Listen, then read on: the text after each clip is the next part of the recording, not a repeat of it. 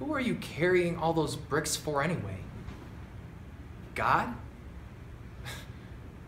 Is that it, God? Well, let me give you a little inside information about God. You see, God likes to watch. He's a prankster. Think about it. He gives man instinct.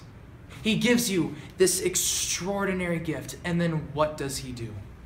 I swear, for his own private cosmic gag reel.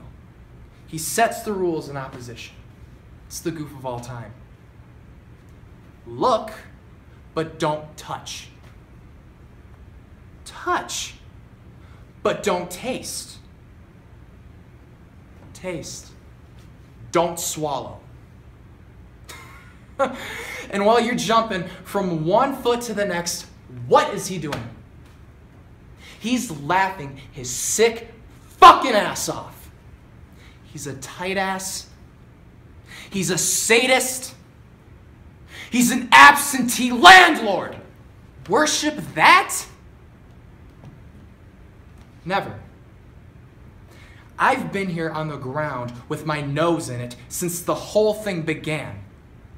I nurtured every sensation man has been inspired to have. I took what he cared about and I never rejected him. Why? Because I never judged him.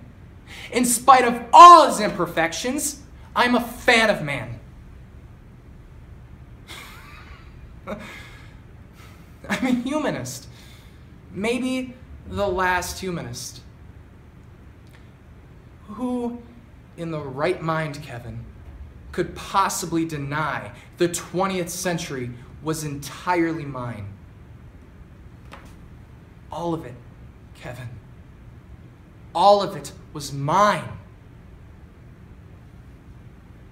I'm peaking, Kevin. It's my time now. It's our time.